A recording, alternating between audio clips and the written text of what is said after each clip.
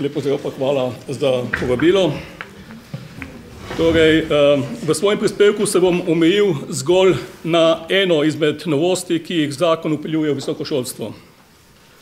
Ker v dosedanji javni razpravi o zakonu, vsaj kolikor je meni znano, ta novost ni bila deležna nobene pozornosti, se zdi, da je bodi si nepomembna, bodi si splošno sprejemljiva. Moj namen pa je pokazati, da je prav nasprotno res. Kajti ta novost ni niti nepomembna, niti ne more biti splošno sprejemljiva, ker je problematična.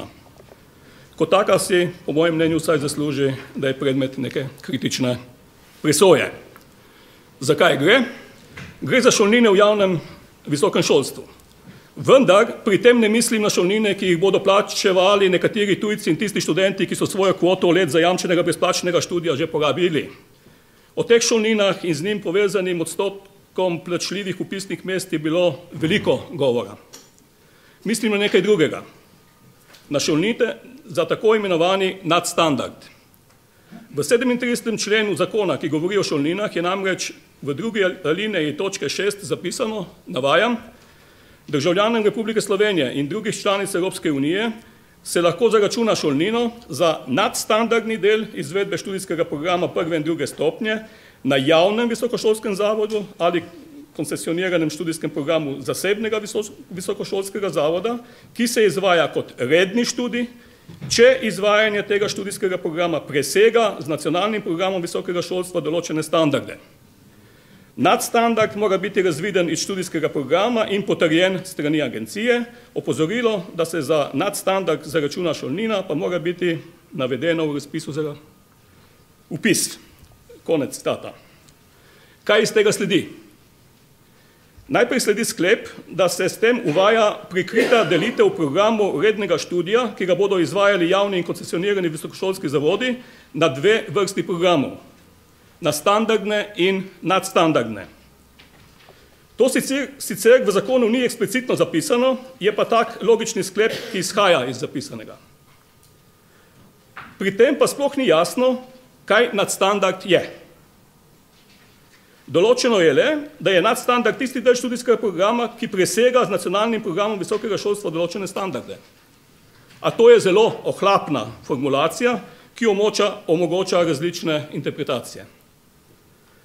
Vendar lahko kljub tej ohlapnosti, namirni ali nenamirni, upravičeno domnevamo, da je nadstandard mišljen kot nekaj, kar naredi nadstandardni študijski program za boljšega od standardnega in od česar bo imel študent, ki tak program izbere, določeno korist. Kajti v nasprotnem primeru bi bilo nesmiselno pričakovati, da bo študent zanj pripravljen plačati šolnino. Šolnino bo verjetno plačal le, če bo nadstandardni študijski program boljši od standardnega in bo študent verjel, da bo korist, ki jo bo imel od izbire nadstandardnega programa, vredna plačila šolnine. Zato lahko pričakujemo, da bodo javni in eh, koncesionirani visokošolski zavodi, ki bodo v sklopu rednega študija ponujali nadstandardne študijske programe, poskrbeli, da bodo ti delno plačljivi programi res nadstandardni, torej boljši od neplačljivih standardnih študijskih programov. Tako bomo dobili torej dve vrsti programov, slabše programe, to je standardne, za, tisti, za tiste, ki ne zmorejo plačati nadstandarda in boljše nadstandardne za one, ki šolnino lahko plačajo. Večja kot bo razlika med standardnimi in nadstandardnimi programi, višja bo morala biti šolnina in s tem tudi manjša možnost, da si bodo nadstandardne programe lahko privoščili revni študentje.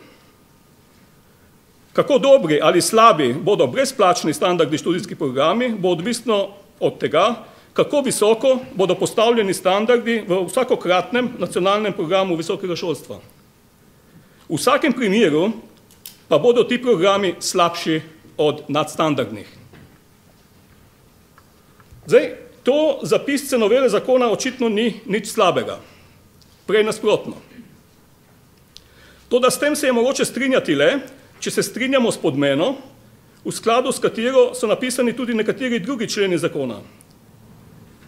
To se pravi s tem, da je komercializacija javnega visoko, visokega šolstva nekaj dobrega, da je dobro, če javni visokošolski zavod ponuja in prodaja izobraževalne stranitve tudi na prostem trgu, da je dobro, če študent lahko izbira med brezplačnimi in plačljivimi študijskimi programi in tako dalje.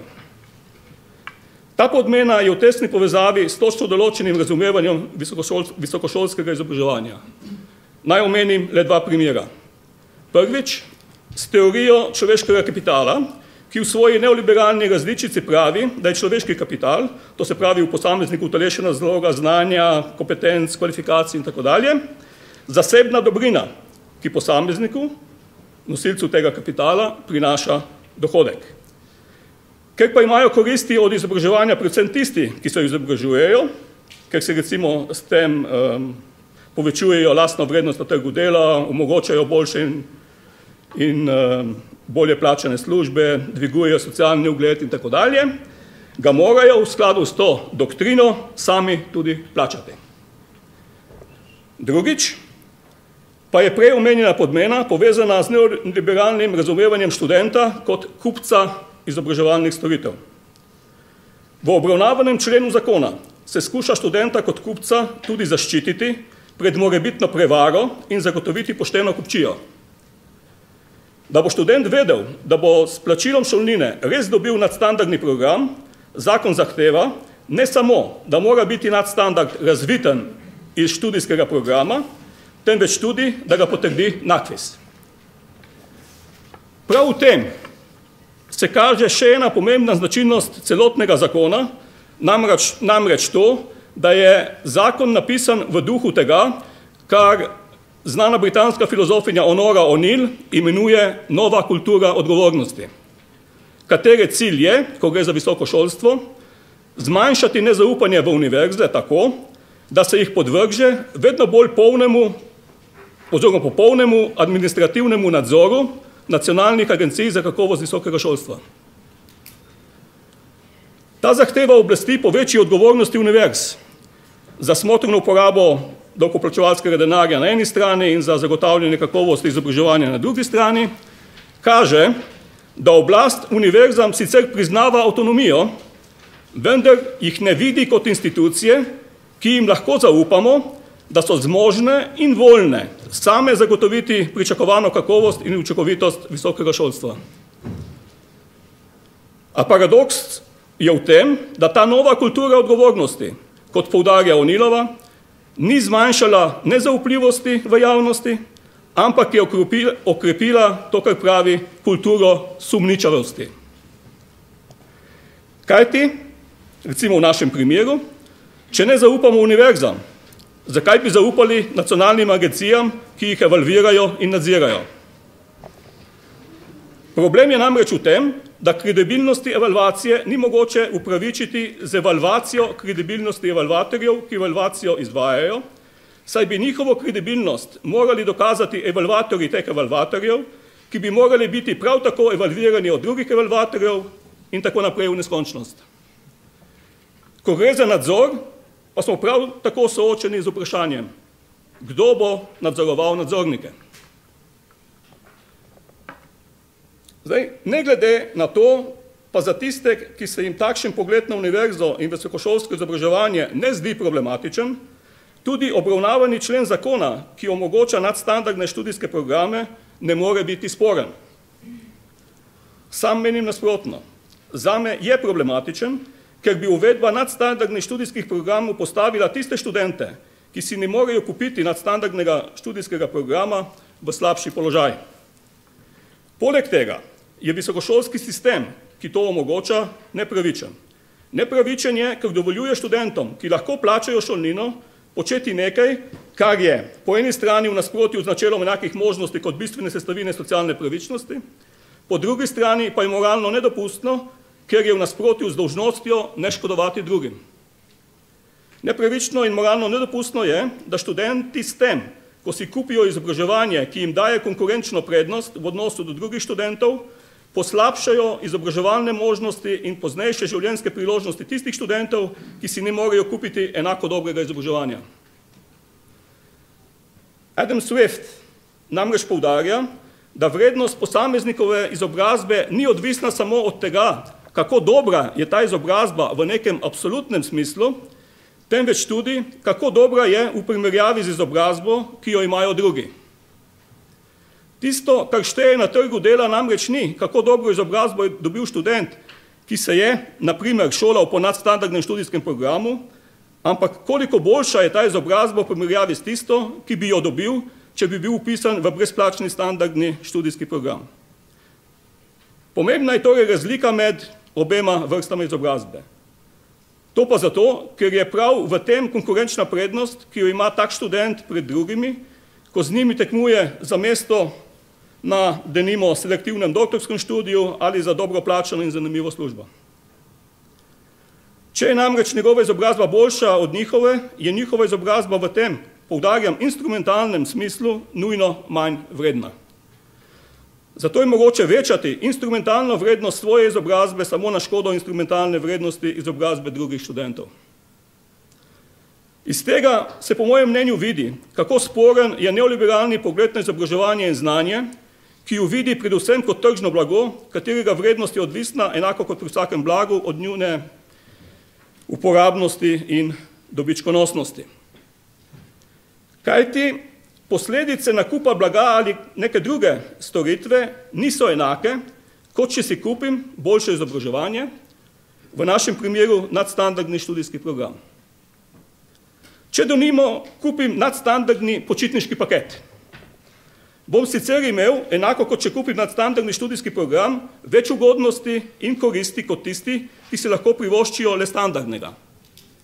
Toda s tem jim ne bom škodil, saj ne bodo zaradi tega v nič slabšem položaju, kot bi bili, če si nadstandardnega paketa ne bi kupil. Zdaj, to, da je ta nadstandardni študijski program, kakršnega omogoča novela zakona, problematičen, pa ne pomeni, da je problematična že sama ideja nadstandardnega študijskega programa. Če bi bil s tem mišljen recimo neke vrste brezplačen kompenzacijski študijski program, ki bi ga javne univerze in visoke šole ponujale, da nimo tistim študentom, ki so se upisali na določene fakultete in visoke šole brez mature ali s poklicno maturo, s ciljem zmaševanja njihovega primankljaja v znanju in splošni izobrazbi, bi bili taki programi ne samo neproblematični, ampak celo hvale vredni. In to vsaj iz dveh razlogov. Prvič, ker bi tem študentom povečali možnosti uspešnega študija in jim omogočili pridobiti splošno izobrazbo in razgledanost, ki se pričakujeta od visoko izobraženega človeka. Drugič pa zato, ker bi to bila oblika izvajanja politike pozitivne diskriminacije kot sredstva za povečevanje pravičnosti visokošolskega sistema. Prav tako se zdi, da ne bi bil problematičen nadstandardni študijski program, ki bi, ki bi bil del recimo javne službe in torej brezplačen, saj bi imeli vsi študentje, ki bi izpolnjevali razpisne pogoje, enake možnosti, da ga izberejo. Tudi v tem primeru bi sicer tisti, ki ga ne bi izbrali, bi se znašli v slabšem položaju. Toda, pomembna razlika, ne zato, ker si nadstandarda ne bi mogli kupiti, temveč zato, ker bi se tako svobodno odločili. Skratka, obravnavani člen zakona ni problematičen, ker omogoča uvedbo nadstandardnih študijskih programov na javnih in koncesioniranih visokošolskih zavodih, ampak zato, ker so ti programi plačljivi. Poleg tega se postavlja vprašanje, kaj je njihov namen. Omogočiti študentom dostop do boljše izobrazbe ali dati javnim univerzam in visokim šolam možnost dodatnega zaslužka.